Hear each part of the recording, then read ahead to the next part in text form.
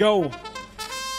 Robots back at it. Pre-programmed instructions for the first 15 seconds of every match here in Nothing But Net in the high school division of VRC. We get four goals scored by blue, four goals scored by red. Let's see if we can open up a difference.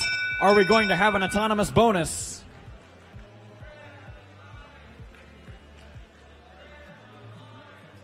Blue Alliance takes the advantage by a very slim margin there. They'll pick up 10 bonus points. We're ready to start driver controlled in three, two, one, go. Robonauts pushing all sorts of game pieces back into that Red Alliance safety corner. They like to get tucked back in there where they can't be hit by the other Alliance. Keep as many game pieces as they can all to themselves that they start to use to load up these nets over here in the corner. High goals coming in, fast and furious. Robonauts just pounding them away one after another. The Blue Alliance, though, definitely a respectful show going on on the other side of the field. Lots of bonus balls, those being the orange ones that count as double score into that Blue Alliance net.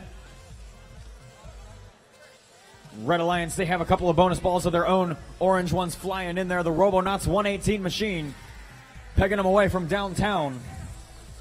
5225A, E-Bots Pilons machine in blue. They represent your number five seed, one of the teams on it. Up and away. Very pretty arc on those shots. One after another. Landing them into that Blue Alliance net. 47 seconds left to go. 1900W machine also on blue. They want to do whatever contribution they can. They're from the Woodward Academy in College Park, Georgia. They had a couple of pieces loaded up. They're now just pending and waiting by the parking zone. 5225 machine has a ramp.